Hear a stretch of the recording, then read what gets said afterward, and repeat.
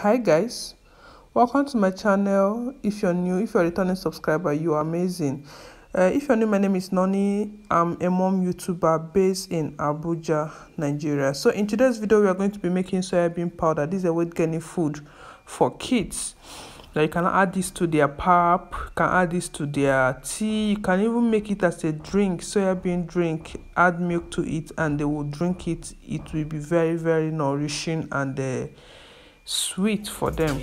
So what i'm doing now is i'm currently picking out the stones from the soybean. Soybean has a lot i mean i mean a lot of stone and so many different different funny funny things if you're buying it from a local market like i did.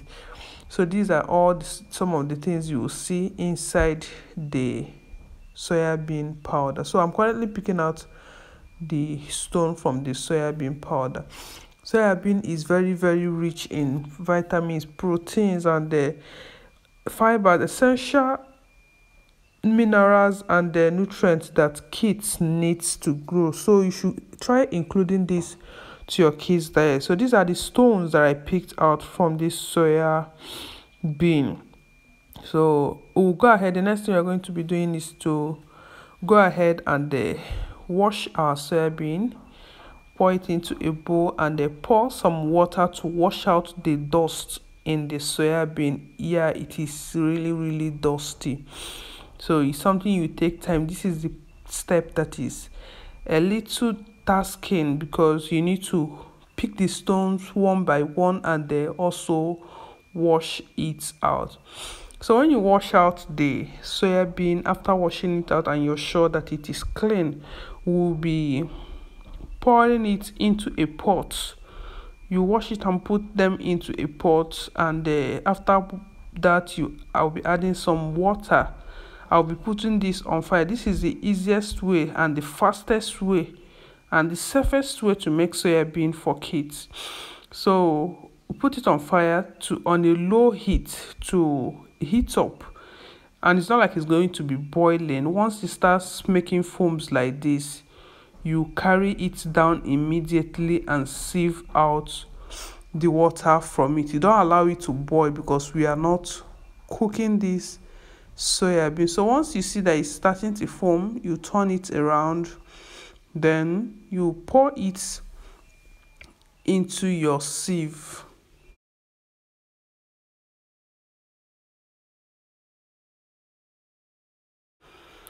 So once you pour it out into your sieve the first thing you need to do is to pour it cold water instantly just to stop the thing from cooking.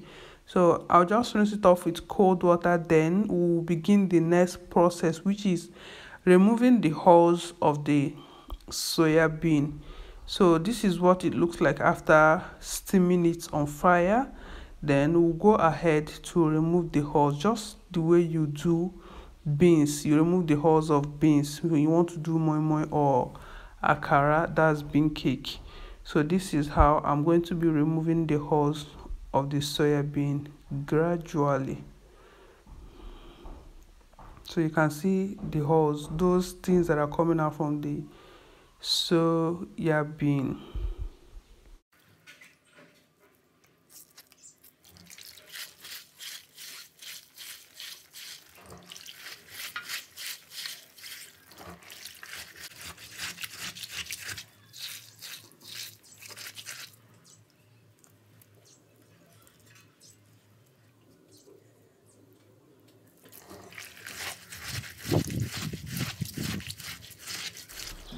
so i had to change the bath because the one i was using was too small. So this is what it looks like. You continue to do that rub that uh, soya bean soybean together so that the hulls can pull out from the body of the soybean because we don't need the hulls the hulls are those things that looks like chaff chaff. That those are what is called hulls so we are going to continue rubbing it together continuing this the, the same process to make sure we get all of them or almost all of them out.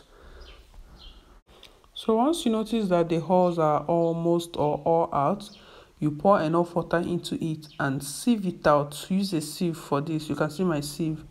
You sieve the water into the sieve. Reason because some soya bean must definitely follow the water and go out. So you sieve it out this is what the chaff or the hull looks like after you wash the soya bean and this is what the soya bean looks like after you finish washing them.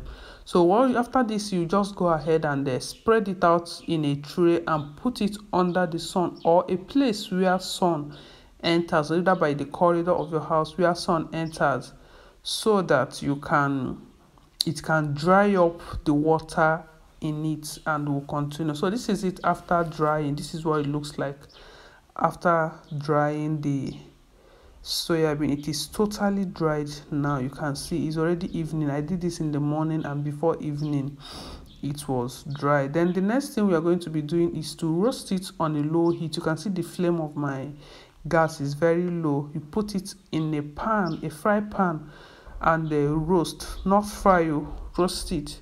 So you roast it on a low heat you keep stirring it on a low heat.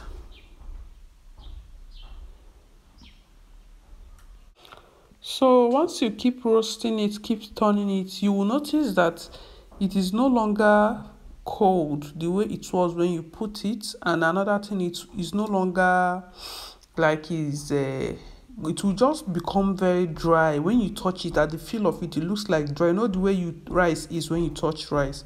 That's how you should feel. And the color has changed. It's no longer the original color that you it was when you put it on fire. So you know that it's getting ready. Another thing if you like your soybean to be brown like when you want it to be brown. That means you have to roast it for a long time so it will be very brown. Because it is from here that you get the color that your soya bean will take when you after making the powder. So but me i don't like my own to be so browny. And i like it to be like light color. So you can when you add milk it will just be very like soya milk. So i once i notice that the water is dried up like this and it is moving on the pan freely like uh, sand or rice dry rice is moving. So that's how you know that the soya bean that particular one is ready to be removed. So what you do you just take it down from the fire and the continue you can see the color has changed entirely. It is brown now. The color has changed. So you just take it down from the fire and the pour it in a tray pan to make sure it gets cold because you, you're not going to be blending the, this while it's uh, very very hot. If not it's going to have some moisture in it and it will make the soya bean to be go to go bad. So this is me frying the second set of the soya bean because it's plenty and uh, and uh, um i can't fry everything at once so you have to take it small small. This is like nine cups of soya bean this is what i'm this one i'm trying is nine cups of soya bean so it depends on the quantity you're making but this i'm not only using it for the powder i'm going to be adding it to my children tom brown which i will also be uploading the video of how i make the tom brown. So you can see the color is also changing now. So after that the next thing you do is you grind it. So in this grinding now when you're grinding it if you want to add if you want it to be very sweet if you want it to be sweet now you add sugar. As you're using uh, nine cups of uh, if you're using my measurement which is nine cups of soya bean the what you you'll be adding like four cups or three cups of sugar to it so that it will be very sweet. You add a pinch of salt. That is all you need. But me i am not going to be adding anything because i'm making it for a baby and i've not started introducing her to sugar yet. So after blending it what next you do is to sieve it. The sieving is not really necessary but i just wanted to show you that when you sieve it you almost get nothing out. But look at it after the sieve and this is what it looks like after the whole process. So guys go ahead and enjoy your soya bean add it to your children pap add it to their their tea or make it as a drink for them to drink. It is very healthy nutritional and helps them to meet their maximum growth.